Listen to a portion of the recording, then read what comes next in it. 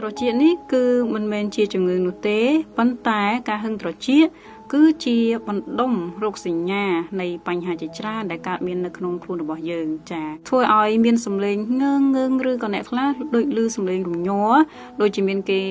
ដំចានៅក្នុងត្រចៀកដែលរំខានទៅដល់ការរស់នៅប្រចាំថ្ងៃរបស់គាត់ហើយពាក្យច្រើនមូលហេតុដែលបណ្ដាលឲ្យមានបញ្ហាហឹងត្រចៀកនេះកើតមានឡើងចាដូច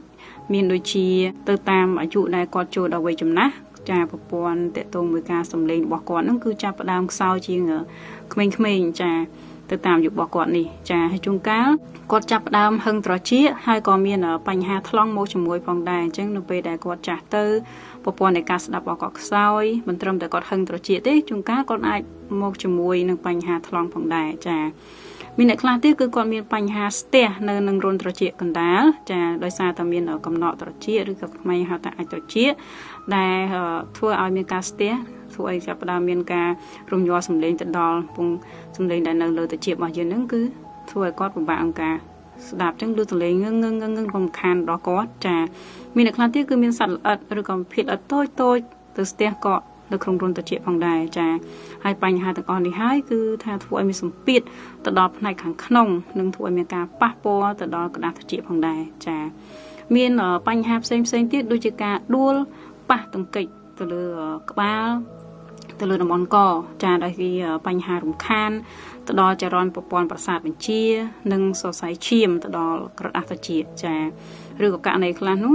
គឺគាត់មានបញ្ហាប៉ះទង្គិចឬក៏មានជំងឺទៅដល់ប្រអប់ធ្មេញកោមាត់របស់គាត់ហ្នឹងក៏ជាកត្តា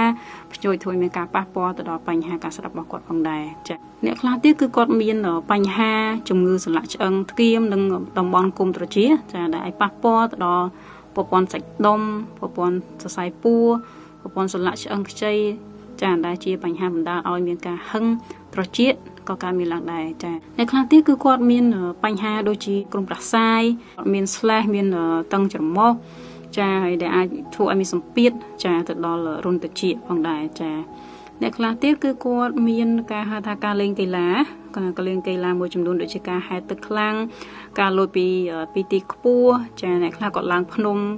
គាត់ឡើងភ្នំឬក៏អ្នកខ្លះគាត់ជិះយន្តហោះពេលយូរ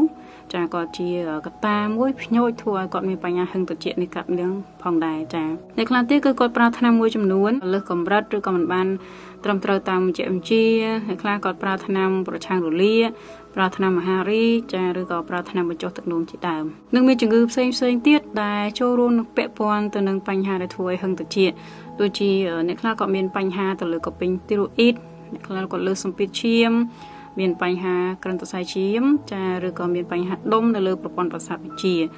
ហើយអ្នកខ្លះគាត់មានជំងឺតាក់ទងជាមួយនឹងបញ្ហាកំប៉ះគ្រាប់ឈាមក្រហម